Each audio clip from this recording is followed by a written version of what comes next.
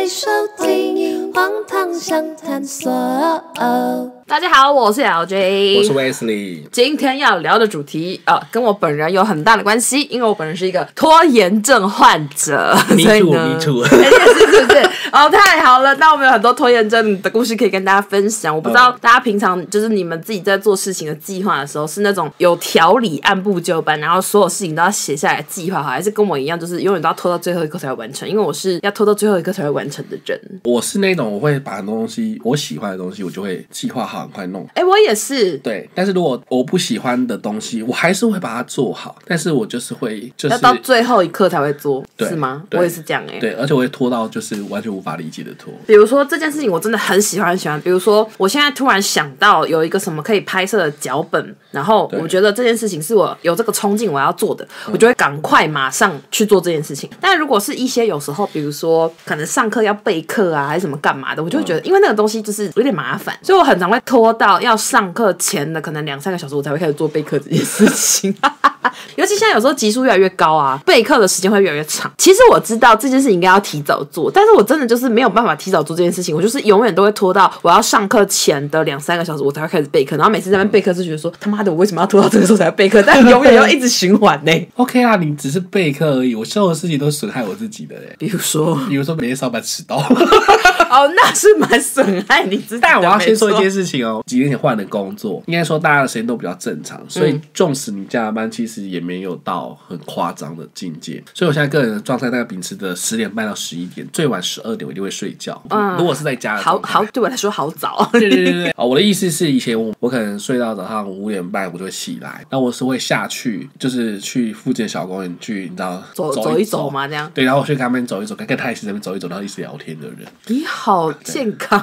对，那我的意思就是，然后我现在上班的地方大概最晚九点那样，但我很常干的事情就是打九点零一分的卡。你五点半就起床，然后你打九点零一分的卡，你中间在干嘛？二零二三年比较懒，我就会起来的时候，我就开始先划手机，先看一下今天所有各大报的电子报，时刻发生了什么大事，娱乐新闻发生了什么事情，然后划完之后就开始看所有的 FB，划到所有社群都划一遍，这样吗？啊，这种我好像看过，OK，好不划了，那就看 IG 看看看，然后看完之后想说，哎、好像还有点时间，比方说现在可能还不到七点，他说 OK，本来最晚八点一定要洗澡，因为我出门一定要洗澡才能上班的，然后哦。最晚八点一定要洗澡，反正看看八点了，啊，可是还有三分钟，这次影片就播完了，好，这次影片看我就去洗澡。我也很常干这种事，就是对我觉得说这支影片看完我就去洗澡，但是永远都做不到。我每次都会拖很晚才去洗澡、哎，那拖很晚去洗澡还好啊，我是早上拖很晚。哦，因为你是接下来要去上班，对，然后我就要请假两个小时了，妈的！的假可以这样一直请吗？你的特休是不是打去？我的特休大概有三分之二都要去请这个。就你发现我今天要迟到了，特休。公司的人士跟我讲说，那个某某某啊，特休不是拿来这样子用的。我说，嗯，还好吧。是啊，你应该拿去放假，嗯安排一些什么时候之类。他也是特休很多的人，但是他就没有这样安排。然后我就跟他说，哦，那你呢？你也没有啊，就这样。你好。像，你直接插回去啊！因为他就说你应该火上安排休息日。哦，就是不是拿来当做那个迟到延长的借对，口。但反正但我就会先堵他一句说，哦，安排休息日，那你有吗？你也没有啊，我有妥善安排我的其实日子。对，迟到的休息。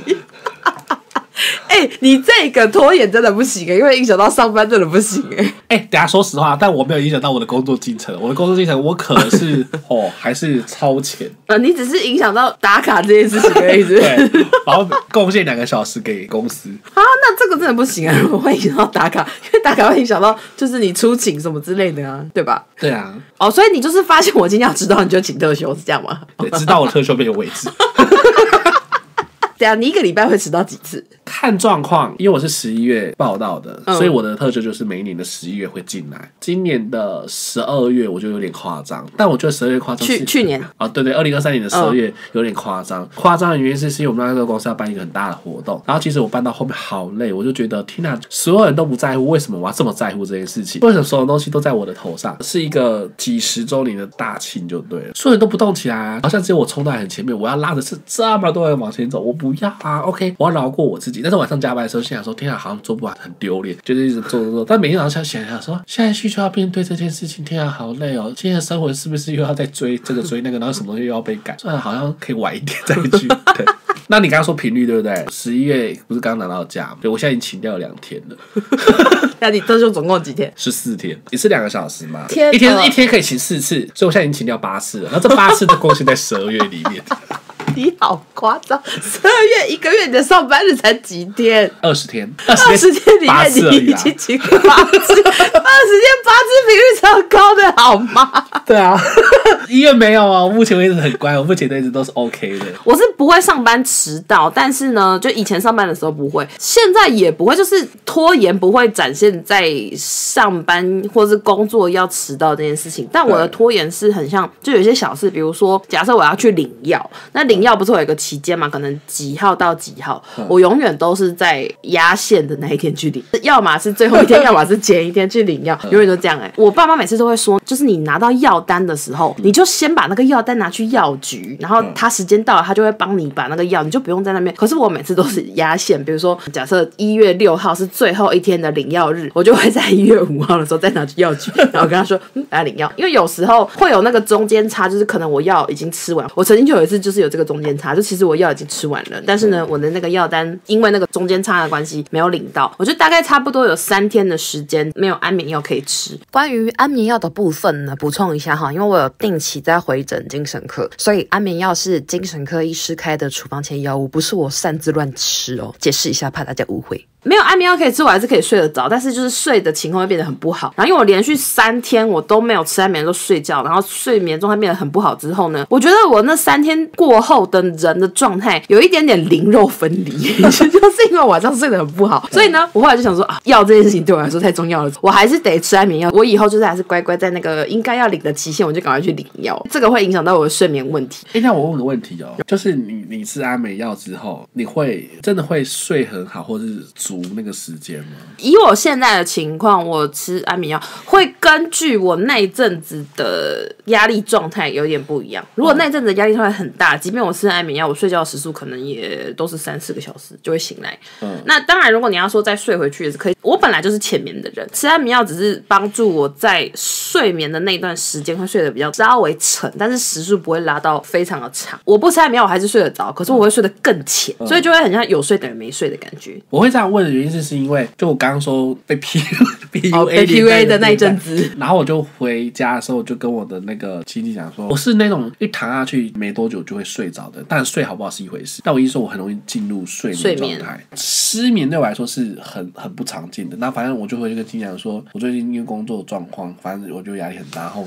就失眠。我常常可能睡一两个钟头就起来了，可是我可能工作我要做到凌晨两三点，早上就又要起来。我说我这样，我觉得我我要崩掉了。然后他就说，好好，那他拿一排安眠药给我，那你真的觉得你有需要的时候，你就吃半颗。再有一个假日，反正没有事情，不用做事情，就那天礼拜五晚上，我就好吃了半颗。天哪，我睡到隔天晚上，我睡 一路睡大概十六个钟还是十八个钟头。我睡到是那一种隔壁栋的，因为我窗户打开嘛，然后隔壁栋的邻居可能回来了，然后在看电视跟小孩在玩，然后声音太大声了，然后灯又亮，那一种状态才起来。一起来当时我还想说，天哪，奇怪是没有睡好吗？为什么现在还黑的？就是没有，你已经睡我也着过。对，我也可能只睡一两个钟头的概念，然后看一下，天天啊，隔一天什么 怎么会这样已？经睡超过那个时间了对，。那个安眠药后来我就一直放着。就是每一个人对安眠药的那个，哎，怎么突然讲到安眠药？反正就是每一个人对安眠药的那个药效药性有一点不太一样。哎，突然间讲到安眠对，我们现在要讲拖延症，我们讲到安眠药啊。拖延症这件事情哈，我觉得就像你刚刚讲的，如果这件事情是我没有很想要做的事情，我就会能拖就拖。尤其像这种就是做 PPT 或是讲义这类的东西，我也都是要拖到最后一刻我才会做的对。因为对我来说，我觉得有时候做那个东西是有一点，就是如果我到最后一刻发现时间很紧迫的时候呢，嗯我做这个东西的灵感会来得很快。现在有开一堂线上课程嘛？那个线上的课程呢，就是我们是直播课，然后所以要做讲义。我每次都是在当天，就比如说晚上九点要上课，当天早上还呃下午还有课哦，然后我可能上完课两点半，我两点半才开始做讲义。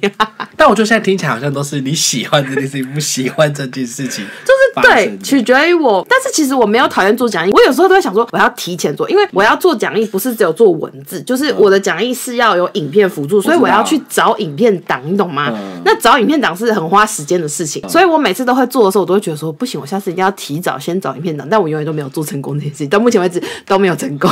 没关系，我觉得要来证明我们是不是拖延症的。我跟你讲，检测是不是？好，我在网络上有看到一个文章，他就说那演讲题目叫《拖延症患者内心世界》。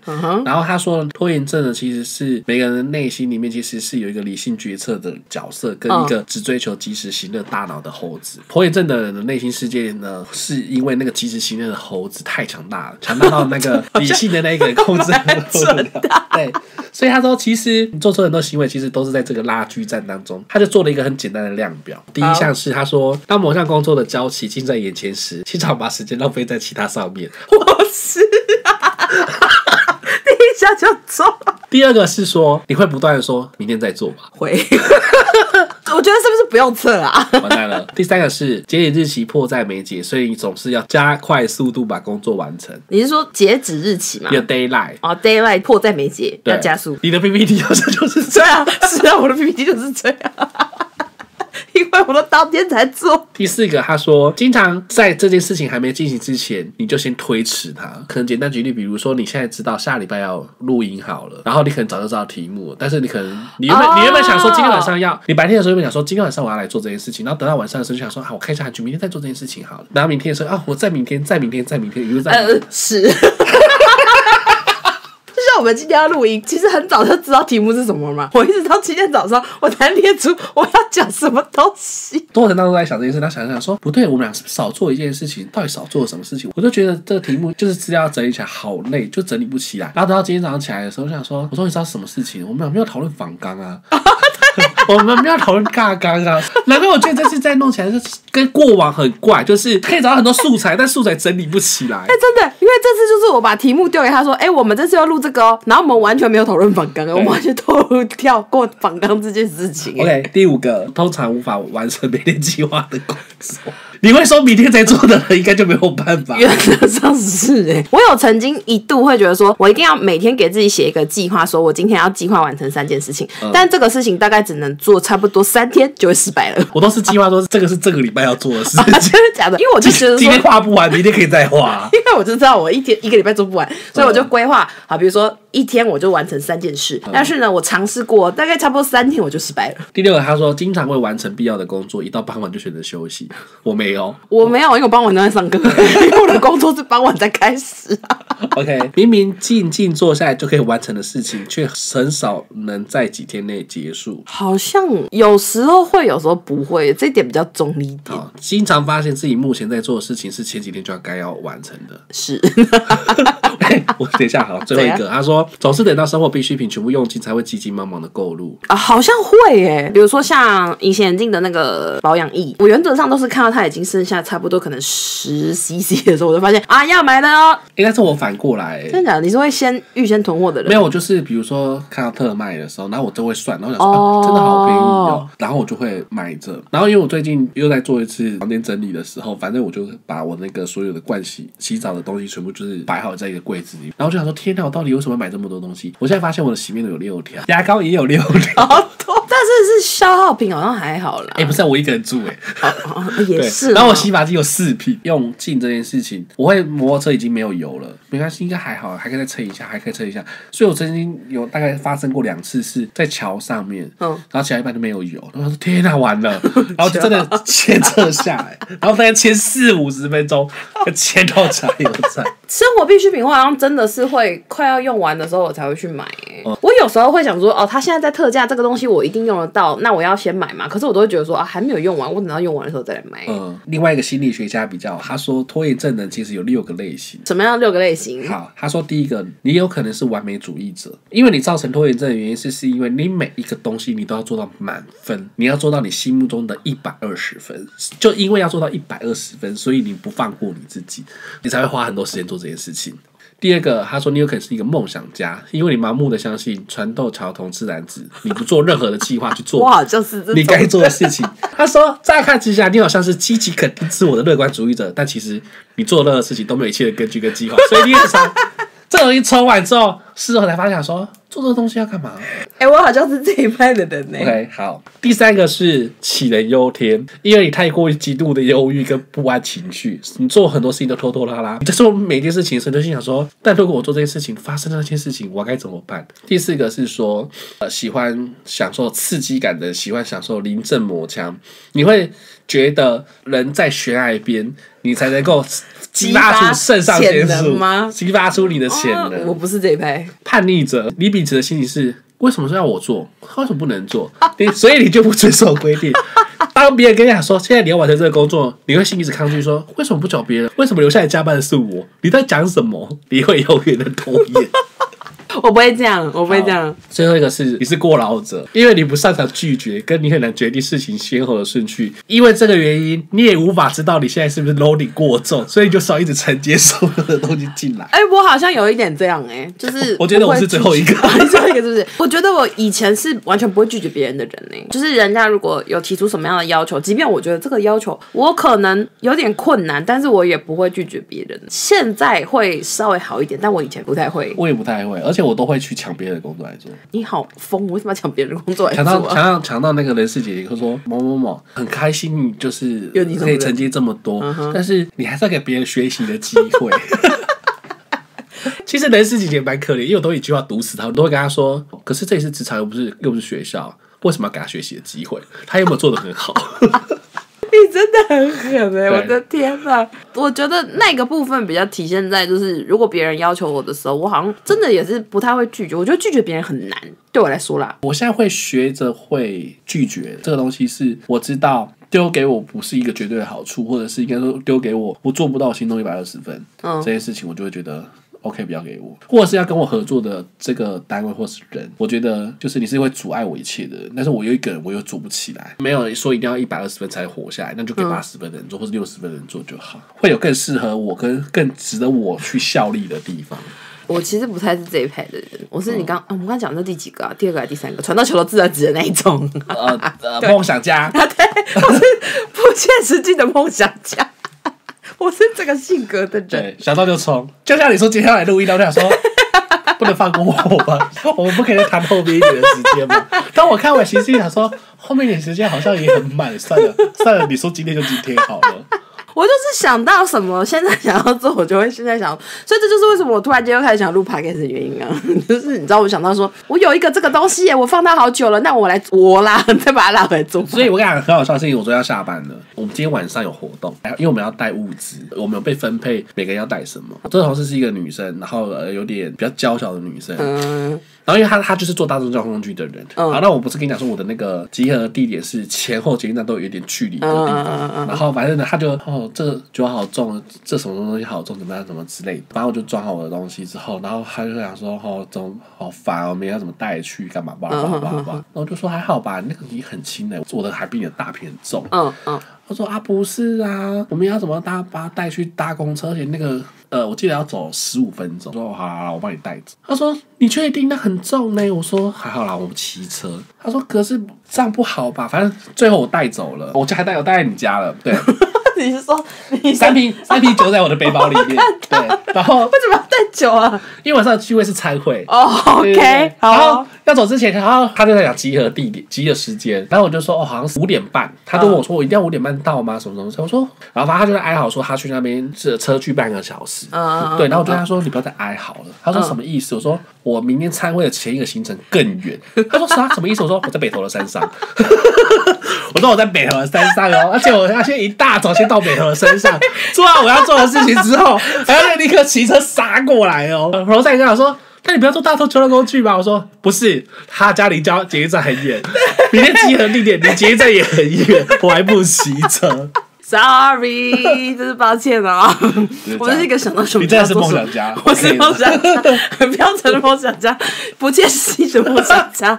我就是拖延症，还有一件事情就是跟缴钱有关，缴钱的事情我也会拖、欸，但是我不是说延迟哦，我意思是说，比如说缴费期限是到二十五号，嗯我一定是二十五号才会缴费的人。我有固定的三张卡会使用，比如说有人绑悠游卡、跟绑手机或绑什么之类的，反正就是三张。三张的卡缴费时间，妈的怎么差这么多？一张在月初，初一，一张在月底，一张可能二十二，一张是二十五号。善用我的日历，我现在把日历就是把它当做每年都会循环的事情，它每个月就会接着提醒我。我觉得现在信用卡公司很贴心诶、它现在可以设立那个呃自动转账吗？还是什么？呃没有，因为我不自动转账的人，哦因为有时候我会怕我刷过头，然后自动转账我会那个会空。哦，扣打会空掉这样。对你，它可以设定那个你要到期的前三天传简讯给通知你哦。是哦，因为我没有信用卡，所以我没有信用卡卡费的问题，但是会有，比如说固定要支出的，像电话费或者是一些串流平台的费用什么这种的，然后还有比如说一季要缴那个劳健保跟保险的费用。我每次都是压线我才会缴钱的人，劳健保费都是每一季的十号之前要缴费，嗯。然后他前一个月就会先寄那个，就是现在都电子的嘛，然后他就会先寄通知来。那我就是知道我十号一定要缴费，但是我就是会压到一定要十号我才要缴钱，因为我就会觉得好像我一号就缴了，我钱就飞走了，我不喜欢那个感觉。而且不用，我觉得现在电子的，以前纸本其实也很麻烦，就因为你会要自己去记日期。但我发现现在其实其实电子之后也没有比较好到哪里去啊，因为你心情很多。只要看到账单，我就觉得啊、又要缴钱了。而且因为我的劳健保的费用跟我额外保的外面的那种保险的费用的季度是同同一一个月，嗯所以就是说我在那个月里面，我要缴掉劳健保的费用之余，我还要再缴保险的费用，所以我那个月的钱就会有很多的钱是飞走的状态。所以你知道吗？我就会觉得我要拖到最后一天我再缴，我才不会觉得说我钱一进来，比如说好，假设我一个月现在钱进来了，然后那个保险的额度可能占我的薪水的，比如三分之一好了。嗯如果我在一开始我就把它缴掉，我就会觉得我的钱三分之一就不见了。那你就很适合那个定期扣缴啊。一般的保险费是定期扣缴的，嗯可是那个劳健保的费用是他的账单来，嗯然后我期限到再去缴费，应该是可以设定，但我好像没有设定。我所有东西都没有设定，是因为我就觉得缴钱的当下就会那个钱出去。如果真的很多，我就会骂自己，想说，对啊，你就是这么爱花钱，看没钱了吧，哈哈哈哈。但是如果自动扣缴，它就是一个数字过去而已。所所以，所以，所以像我现在朋友什么接口支付啊，什么支付宝，嗯我超讨厌用，我都觉得它只是数字跑过去，然后我就不会痛。可是电子支付现在真的很方便哎、是没错啦，但是就是对我这种就是就是你觉得没有没有什么概念的，哦、我就是没有拿现金出来，你会觉得我没有付钱的感觉，这样。对，应该是说你会觉得钱好像很很容易，然后你就会花很多。哎、针对花钱这件事情，我们现在再开几讲好了，因为花钱哦，我也是一个花钱 不太节制的人。我们下一集来聊 OK，理财，没有理财观念的人更加聊理财合理吗？我有理财啊，你乱说，我有，你有在理财我不知道你有没有，但我有。真的假的？你的理财是就是除了存款之外，还会额外做其他的投资那种吗？会啊我有真的假的？哇，我完全没有。不行，我不知道怎么骂你。我有存钱，但是我没有，就是没有投资。简单讲这一段，我大学时期其实也没有。应该说那时候我的有一个老师就说，你加减要会投资，所以他那时候教我买股票，最简单买股票。那我那时候超佛系的，反正我就是买这个股票，但我其实没有认真研究。反正那家公司原本都没有很上进，大概就可能比如十二块、十三块，十二块、十二大概就是一万二、一万三了。嗯，对对对，他们想说，哦，一万二、一万三也好好少，就这样子吧。对对对，大学毕竟十年多了嘛，现在六十几块，就跟台积电一样，台积电当年两百，现在现在六百多了吧？不止六百多，不止六百了，，对，那他有跳过千过啊。好可怕哦。对，我的意思是，那当年如果我们上街，啊，三百万早就有了。哦，好，我我我们下一集再来聊投资理财。我是投资理财小白，彻底的白哦。天哪！好，你是不是觉得不可思议？我觉得超不可思议的。不要这样子嘛！那我们下一次再来开一集，就是你以一个就是你的有一点理财经验的身份，给我一点建议。哎、说不定也有人跟我一样没有在投资呢，应该有吧？不行啊，好想骂你，怎么办？那我们下次可以做一集，就是给一些比如说刚出社会的人听一下，就是你劝劝导他们从刚出社会就 就要理他财。会拖延症。OK，好了，回到拖延症，你会有觉得说我应该要把我的拖延症改掉吗？或者有没有企图想要做过这件事情？我不知道，我觉得我的拖延症都是喜好哎、如果这东西我很喜欢，叫我三天三夜不睡觉，我都可以把它做完。但这个东西如果我讨厌的话，我好像你拿枪压着我，我我不会提前给你，但是我就等一下时间我就会交给你。我好像也是这样哎、就是好像真的是跟喜好有关哎、对啊就是喜欢的事情很快就会做完。嗯但是如果有一点，也不是说到不喜欢，但可能就是觉得我没有那么大的动力做的事情，嗯我就会能拖就拖。就像刚才的那个可能过劳者加上完美主义者，但是我现在学会推了。有一派的人是那种，他所有的大小事他都会计划好，然后排成在他的行事历里面的那种人。我有时候会很羡慕这种人，我会我会企图尝试要做这件事情，但是就是呃没办法成功。类似这种事情的话，我在那种旅行，哎，旅行我也会，可是看那你会到什么程度？呃看国家。不管，就是我的意思是说，你你呃，举例你去韩国好，你会认真到什么程度？早期我很认真的时候是会，比如说住宿、吃、玩点，然后每一个点到点之间的交通工具啊，什么就是所有的细节我都会列出来的人。早期是这样，就是可能有一个 Excel 表这样对。对对对对对对，就写可能比如说几点到几点我们会预计在这个行程，然后搭车要多久，然后下一个点，然后什么时候要吃饭，然后可能有什么逛街的行程。我早期会这样，我早期是，嗯我是会做简报的人。我的简报的第一第一 part 就是这个国家的简介，那我们现在去的这个地方，比如说好冬暖夸夏凉张哦你，然后汇率多少，然后比如说是有没有带什么插头，怎样怎样怎样怎样，就是旅行社套装的概念。开始就是我们每天行程的走向、景点介绍什么什么，嗯然后嗯最后一页就是我们这次去这个行程，你应该要带什么那个 checklist 表这样子。你好夸张，你这是完美主义者没错。是是，然后近几年不是有一个那个叫什么卡法哦 Canva 不是流行，就 Canva 可以做很多绘对对对对对，现在很流行。对，我现在就会做成 Canva，然后那种 PDF 档，就是很像那种电子手册这样的概念。好夸张！其实你现在出国还会这样吗？会啊，真假的？嗯我现在已经放弃这件事了。但应该是说，因为近几年来比较长都是自己去了。我觉得跟朋友去，有时候友情大概就是在旅行中消是消耗殆，Yeah，that's。right，没错对，。或者是有时候我我是一个很怪的人，没错，就是比如说现在心情很好，我可能就觉得去游乐园很棒啊，去嗯嗯，酒吧很棒啊，去那种人很人山人海地方很棒。可是我觉得现在心情不是很好的时候，我就走放很文青路线，就觉得。哦，就是觉得为什么去那种西边，然后坐在那边要看看？享受宁静这样？对啊，我现在是我可能，比如说我会抓几个我想要去的地方，可是我已经不会做到很细节。我现在甚至连比如说要吃什么餐厅我都不会查了，因为我就觉得反正到当地，反正我语言可以通嘛，那我就是到现场再查，我觉得也可以。哦，没有，我会查，比如说这一区里面，然后这个地方有没有什么特别一定要吃的，我会查这几个。哦当然，过程当中，比如说我现在看到有一些店好像很在地，我觉得哎好像可以去试试看，我就会去。有一些必吃的东西可能会查，但是其他我就现在就是到了到了那边，我们再看那个，比如说如果韩国的话，就是看 Naver 的评价。嗯，就是去韩国的时候，我会很认真，但去其他国家，因为我就会有一种我对这个国家很不熟悉，所以我找资料的模式就会变得有点懒散，就是反正我就看到什么景点我就丢丢丢丢丢，但是那个排程就会有一点，我们是一群朋友要去的话，我就会丢出几个我抓到的景点之后，剩下的事情交给别人做。因为我就觉得，呃，这个国家我很不熟悉耶，所以、跟我朋友一样哎、我有个朋友真是，我们是很好的朋友，但有时候他的一些行为举止，我就是蛮讨厌的。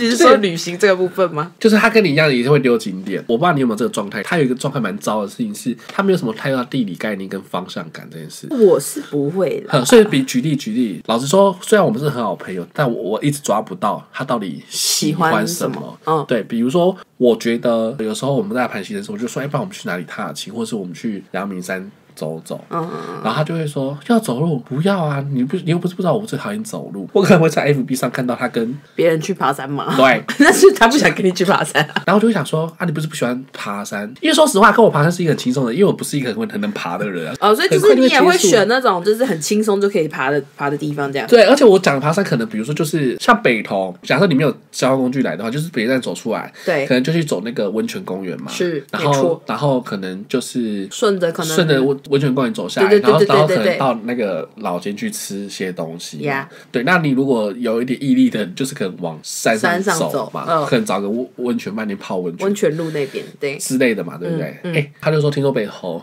风景很漂亮，我就跟他说，就是我们坐大众交通工具来。他说为什么不租车？我说不是啊，北投很难停车哎、对，北投没有什么停车场，对，没他就说有什么大型停车场然后他。就说你不租车我不来。那我想说干，可是北投是你要提的、啊，反正到了第三年就我们租车，然后就来了。北投温泉公园，然后那个图书馆，然后那个博物呃温泉博物馆对，我们就只绕了那个左半边，那根本不需要开车哎、你就结束了，坐捷运出来就走一圈、结束了，欸。谢谢大家，我们就上阳明山喽，我们就开上阳明山喽。然后我就心想说，我这边浪费我的时间，不哇，真的是浪费耶。好，这是一怕。然后比如说，好，我讲比较夸张的事情是，我就说，哎，那你要去哪里？他就说，哎，那个很久没去九份，那我们去九份好了。我说好，九份好啊。那他说，哎，那听说那个基隆不是有一个那什么博物馆吗？嗯好，反正就丢九份，丢博物馆，然后又丢那个乌来，因为他有小孩嘛。他说他带他去木栅动物园，嗯然后就说，小姐，你现在知道你你把台北的东南西北跑完了？然后他住板桥的饭店，对我说，小姐，东南西北跑完喽。你知道你只剩龟山岛还没去哦。你看你自己刚刚听完，你是不是觉得很荒谬？不是而且每个都在山上。他住板桥，然后九份，九份是在北海岸的耶。对啊，对，而且九份还不是一个平地的概念，九不份还是啊九份九份是山上哎。对啊，说去乌来泡温泉，因为他说北斗泡过，我去乌来泡温泉。然后我想乌来说，跟小姐，那个你可以知道你现在是去干嘛吗？乌来乌来跟九份是完全不同方向哎。，对，这个东西他觉得大概两天就可以走，怎么可能？或是一天就可以走哇，你这个你这个朋友的地理概念真的很差哎、超级哎、又讲就走太远。我们今天的主题是拖延症。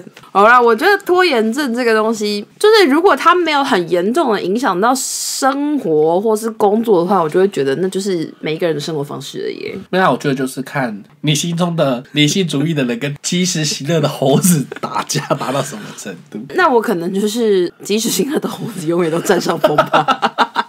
我就是很重要的事情，我也都是会要拖到呃最后一刻才会开始做的人呢。没有，你现在就是开始要有点排行程的概念。我以前有一阵子是会那种就觉得说啊，我拍片应该有一个行程，因为我嗯以前是想到我就拍这样。我有一阵子就觉得说不行，我一定要安排，就可能比如说我礼拜一拍片，礼拜二剪片，然后礼礼拜几就可以上片这样。嗯我做了差不多一个月，失败。所以我现在都是，我现在突然间觉得我有灵感要写脚本了，我就现在赶快写写写写写。写完之后呢，那我就看一下，就是明后两天有没有时间可以拍片，有我就拍，拍完之后呢，我就减这样。我不晓得你的状态，因为我的状态是因为我觉得有些东西太无聊，或者那个东西不喜欢，所以才会导致我我原本可能 maybe 一个小时之内做的完，那我就拖成两个小时、三个小时。所以现在网上不是有那种 YouTube 的影片是那个什么什么番茄番茄钟对对工作法工作法，嗯对，反正我的意思是，因为我记得好像有半小时、一小时可以选嘛。如果今天做这个东西是讨厌的事，我就放那个番茄钟，然后听那个音乐，然后不然就开始做做做做。想的时候想说，因为啊好，OK OK，反正现在还没有很急，我先放旁边，我现在做喜欢的事情。哦，然后喜欢的，因为喜欢的东西，你就会做很快，对，会做很快然后。做完之后，可能还没有想的时候，想说，哦，那再来补刚才那一段不 OK 的东西。好，我之后试试看番茄钟，我会把它运用在我觉得最麻烦就是要备课跟做讲义的部分。拍影片对我来说是喜欢的事情，所以我会觉得会很快就把那件事情做完。那你都想想说先关掉，那个我的话题还没有讲了，先等一下，先等一下。为了不让番茄钟打扰你，因为你每一趴影片都开直播。结果造成反效果。对，我的那个提醒就想说，哎、L 这些又来开直播，我想说要来开几百日直播。哎、我最近比较少开直播了，好吗所以？我的意思就是，你为了让番茄钟不出 所以我打开直都打开直播，然后你想说，我也不要剪了，就直播。你说不用剪，我直接直播上去，我也不用后置剪辑，对不会有番茄钟的问题。都在做喜欢的事。你这么说好像也是。我现在就是剪短影片了，剪短影片快很多。像威斯里讲的，跟喜好有关系，真的是喜欢的事就会做很快，啊、不喜欢就会拖。所以我觉得这个好像嗯无解，那就算了吧。我俩就每天做一点点，做一点点，做一点点。如果有拖延症患者的朋友，你们也可以尝试一下番茄钟，跟我分享一下你的心得。但我觉得我有很大的概率，很有可能会觉得这个番茄钟明天再做好。你说的是明年吗？我刚刚听错，才刚开我。说明天 好啦，那如果也是这个拖延症患者的话，欢迎跟我们就是分享一下你的故事。你有什么拖延症的事情，就留言在下面告诉我们。对，可以跟我们分享啊，私讯我们也是可以的哟。对，可以到我们的 IG 找我们。好的，好的，那以上就是今天跟大家分享的拖延症的故事。那喜欢的话，请记得给我们五星好评，也可以留言。那如果你们愿意的话，可以赞助我们喝些咖啡，或者是可以赞助一下我的流水席基金。基金还没有达到吗？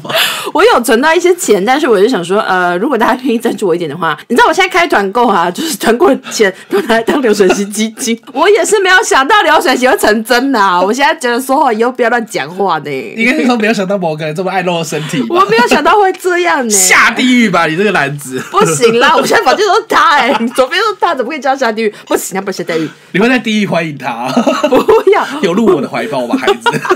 在地狱好像不太好哎、你觉得这样合理吗？应该要去天堂吧？我觉得蛮符合他最近舞蹈的颜色，蛮黑暗的。他最近去当兵了啦。我知道，知道。好的，那以上就是今天的这一集，希望大家会喜欢。那我们就下次再见，拜拜拜幕后花絮。那你知道你存钱的利率那些东西多少吗？